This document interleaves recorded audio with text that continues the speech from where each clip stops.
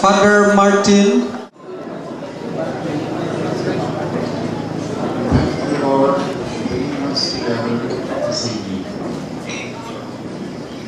we ask you to bless our togetherness and bless the food we eat so that we may be nourishing for our spirit.